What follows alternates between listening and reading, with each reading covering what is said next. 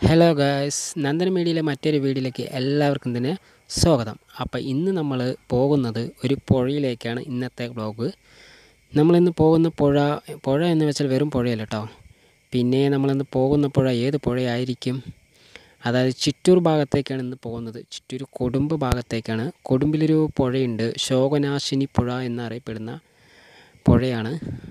അതായത് ഭാരതപ്പുഴയുടെ ഒരു കൈവരി കൂടിയാണ് ഈ ശോകനാശിനി പുഴ.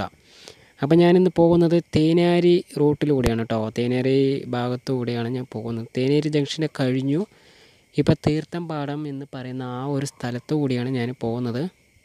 ഇപ്പോൾ ഏകദേശം പാടങ്ങളുടെ നടുവിൽ കൂടെയുള്ള കുറച്ച് പാടങ്ങളും അതിന്റെ നടുവിലൂടെയുള്ളൊരു വഴിയും റോഡ് ബസ് റൂട്ടാണ് കേട്ടോ. അപ്പോൾ ഇതാണ് നമ്മൾ അറിയപ്പെടുന്ന തേനാരി തീർത്ഥംപാടം ശിവക്ഷേത്രം അതായത് ദർ ബലിതർപ്പണം ഈ കറുത്ത വാവ് തുലാവാവ് എന്നുള്ള സമയങ്ങളിലൊക്കെ ബലിയിടാനും ഒരുപാട് തിരക്കൊക്കെയുള്ള ആ ഒരു അമ്പലമാണ്. പിന്നെ ഇതിന് തൊട്ടുള്ള ഈ ഒരു റൈറ്റ് സൈഡ് കാണുന്ന ആ ഒരു വഴി തൃക്കുമിഴിക്കാവ് തൃക്കുമിഴിക്കാവിൽ പോകുന്ന ആ ഒരു വഴിയാണ്. റോഡ് അവിടേക്കുള്ള പണിയൊക്കെ നടക്കുന്ന കാരണം സൈഡൊക്കെ പൊളിച്ചങ്ങനെ ആയിരിക്കുകയാണ്. ഇതിപ്പോൾ നമ്മൾ തീർത്ഥം പാടം പറയുന്ന ആ ഒരു ശിവക്ഷേത്രം കഴിഞ്ഞ് പോയിക്കൊണ്ടിരിക്കുകയാണ്. അപ്പോൾ ഇപ്പോൾ ഈ ഭാഗം മുഴുവനും അതായത് ഈ തീർത്ഥം പാടം പറയുന്ന ആ ഒരു സ്ഥലം കഴിയുന്ന അതുവരെയും അങ്ങനെ മുഴുവനും പാടങ്ങളാണ് കേട്ടോ കാണാനും തന്നെ ഈ ഒരു ഭംഗി എവിടെയും തന്നെ ഉണ്ടാകില്ല. ഇപ്പം നമ്മളിങ്ങനെ പോയിക്കൊണ്ടിരിക്കുകയാണ്. അങ്ങനെ തിരുത്തമ്പാടം ബസ് സ്റ്റോപ്പൊക്കെ കഴിഞ്ഞ് പോയി. നമ്മൾ എലപ്പുള്ളി എത്താറായി. കുറച്ച് ദൂരം കൂടെ പോകണം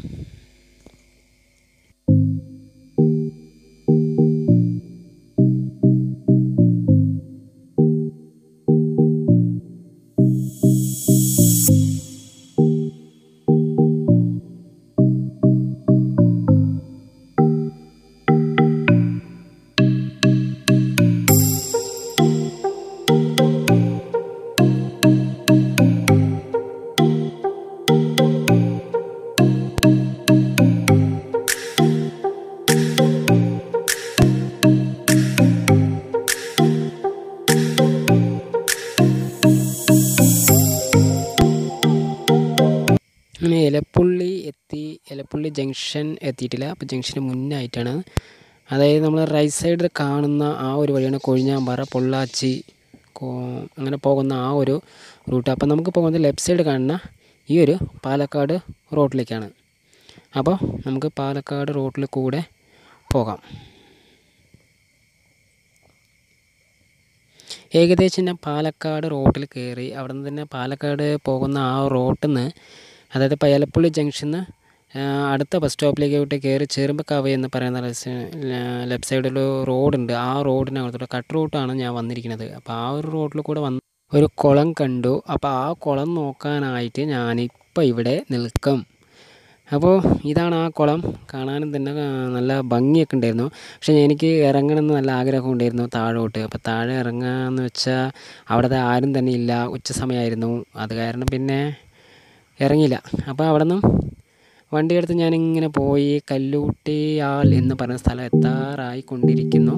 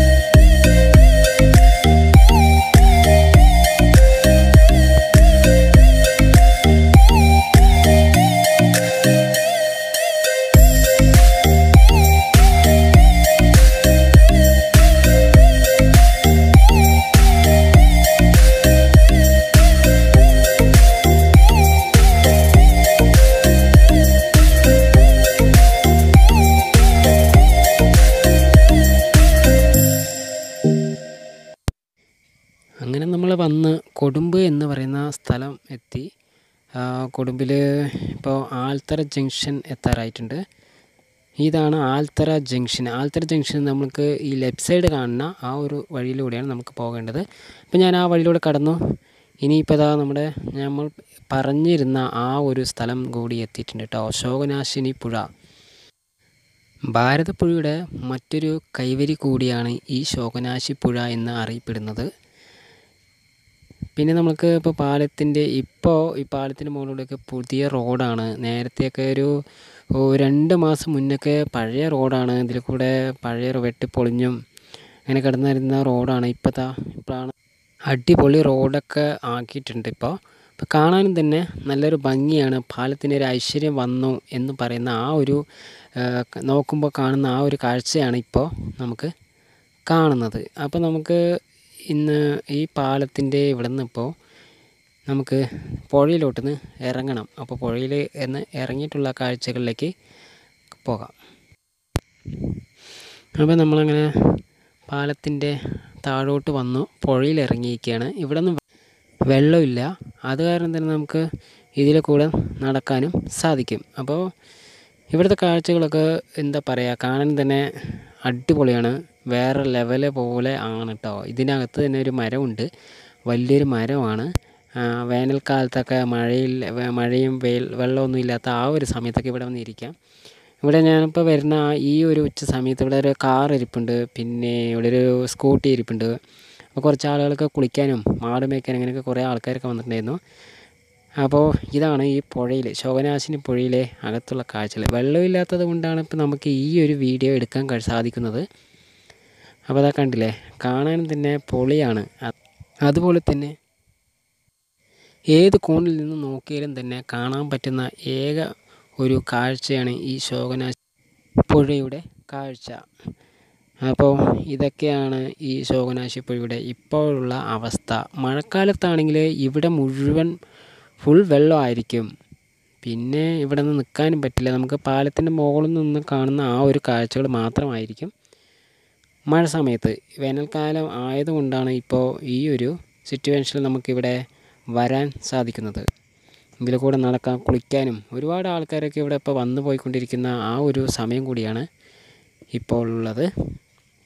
ഇപ്പോൾ ഒരു മൂന്ന് മാസം ഇനിയിപ്പോൾ ഈ ഒരു മാസങ്ങളും കൂടി തന്നെ കഴിഞ്ഞു കഴിഞ്ഞാൽ അത് ഈ വെള്ളം കൂടി ചിലപ്പോൾ ഉണ്ടാകില്ല. അത് മൂലത്തറ ഡാമിൽ നിന്ന് വരുന്ന ആ ഒരു വെള്ളം ആണ് ഈ ഒരു പുഴയിലൂടെ ഒഴുകി അറബിക്കടലിലോട്ട് പോകുന്നത്.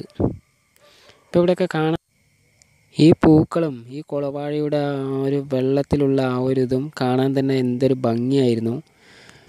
പിന്നെ ഇവിടെ തന്നെ എവിടെ നിന്ന് നോക്കിയാലും തന്നെ ആ ഒരു പൊളിയാണ്.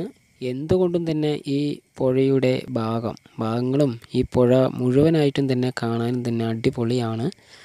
അപ്പോൾ ഫോട്ടോസൊക്കെ എടുക്കാനും മറ്റുമൊക്കെ ഇപ്പോഴാണ് പറ്റിയ ആ ഒരു സമയം.